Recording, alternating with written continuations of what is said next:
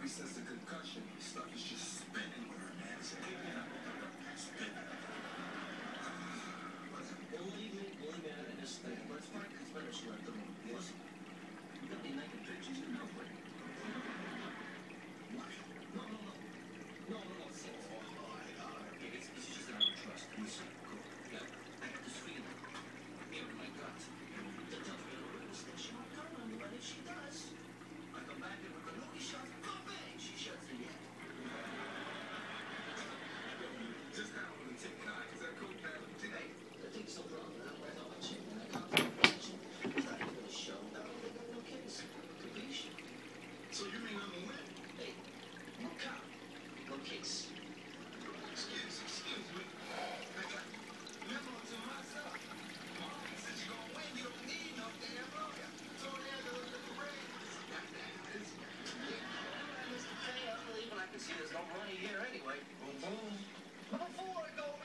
some free advice from me.